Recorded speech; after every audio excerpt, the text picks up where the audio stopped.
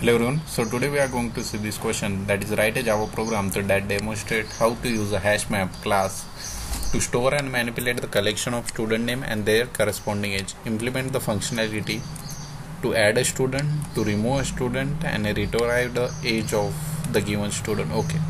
So here I will go. What you have to do is uh, write a Java program that demonstrates how to use hashmap class to store and manipulate collection of student name and their corresponding age. Okay so hash map. So we have to store a student name and uh, their age. So the name data type will be string and uh, their age data type will be integer. Hash map equals to new hash map control shift o for importing. Now we have to store the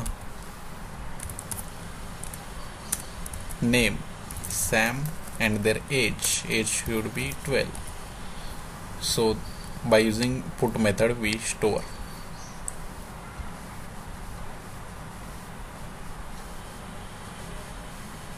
Add a student. So this like add student hm dot put sam john and age 30 now if i want to print this hm right click run as java application. Here we go. Now if I want to print only the name of the student then we can give key set because this is a key this is a value. Name is a key age is a value. I want to just print the student name hm dot key set right click run as java application. Here we go john and sam. I want to print only the age then hm dot hash map name dot values. Save this. Right click. Run as. Java application. Here we go. Age only. Now so remove a student.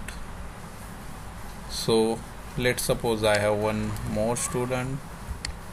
Angela 12 now what I have to do is like I will here print names this one. Print ages. Now remove the student. John. Now how to remove? Hm dot remove.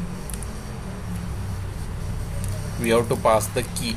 That is here John I want to remove.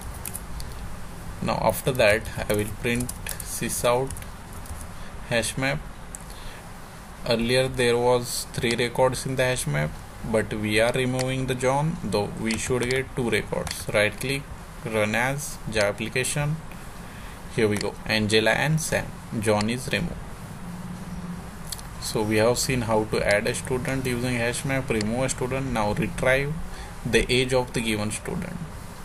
So let's suppose we have a given a string name equal to sam. Now i want to find the age of the student so Sam's age. Sysout Sam age. So there is function. Hm dot get we have to give the key. So key is a name. It will give us a its value. So hm dot get of sam it will give us a value 12 right.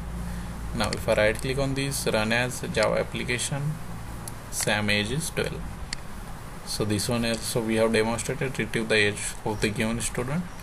If I want to give the Angela's age let's save this. Angela right click run as Java application.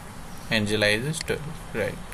Now what I will do is Angela age I will go to 16 it should print 16 Java application 16 so this is a simple like example to demonstrate how to use the hash map class. So if you like this video you can hit like button and subscribe to our channel